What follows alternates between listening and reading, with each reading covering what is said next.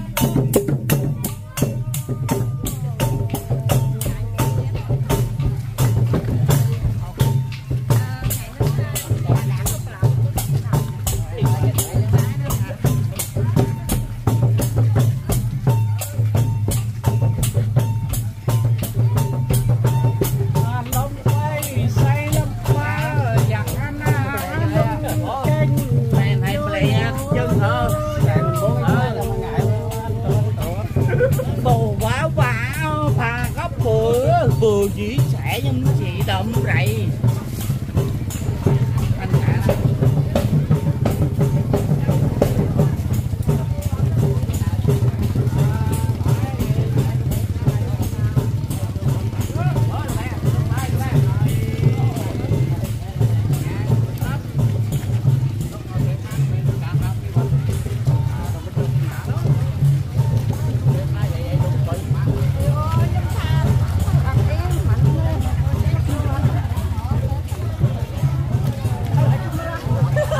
មួយនារីមិនអោក៏ជួយកាត់ដែរម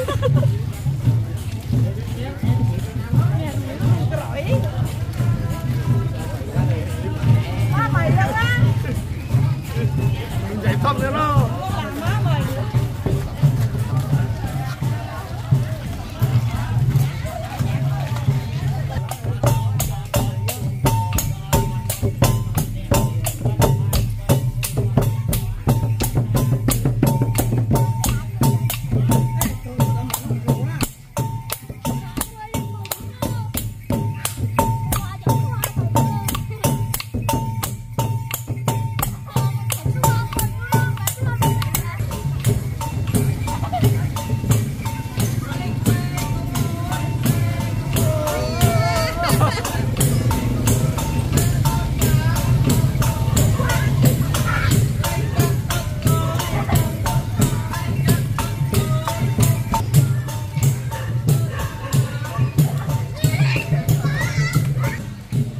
គោរពជំរាបសួរបងប្អូនឥឡូវនេះពិធីដង្ហែអង្គទានប្រវត្តិសាស្ត្រនិងពិធីពិសេសគឺ